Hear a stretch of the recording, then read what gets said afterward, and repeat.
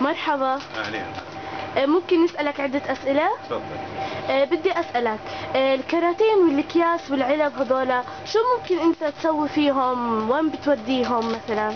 إحنا بنحطهم عند الحاوية وبيجي ناس بوخذوهم طيب زمان كنتوا الأكياس والعلب والكراتين كنتوا تستخدموهم إشي؟ لا حفظ الملابس بس ياخذوهم الناس ويحفظوا فيهم الملابس طيب آه، يعني كانت لما مثلا أنتوا تخزنوا الكراتين والأكياس والعلب وتبيعوهم صح إنها بتجيب مرصود مالي إلكم؟